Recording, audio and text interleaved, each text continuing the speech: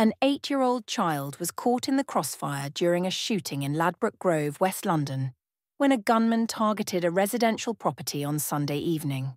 The incident occurred around 6 p.m., prompting an immediate response from armed officers of the Metropolitan Police who arrived to reports of gunfire.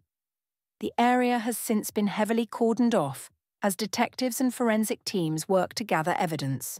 The child, injured in the crossfire, was swiftly treated by the London Ambulance Service at the scene and then rushed to the hospital.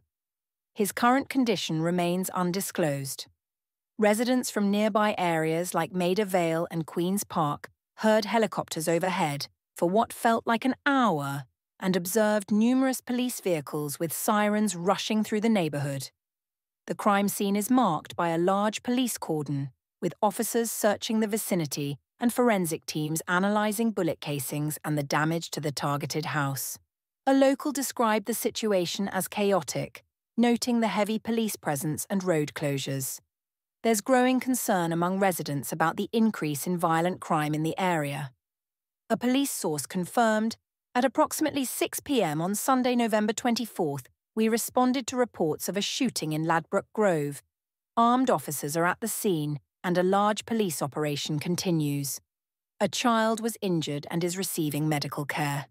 No arrests have been made as investigations proceed.